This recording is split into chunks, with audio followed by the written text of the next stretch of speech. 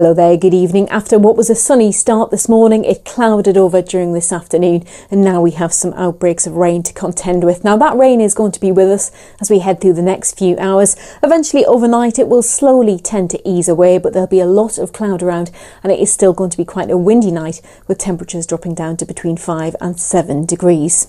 Now, that means Monday morning is going to start off on a fairly cloudy note. We'll still have some showery rain at first.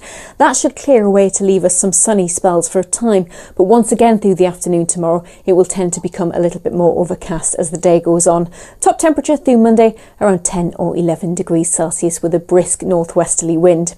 Looking further ahead into Tuesday, it gets a little bit milder, the chance of seeing some further rain, then it gets cooler by the middle part of the week.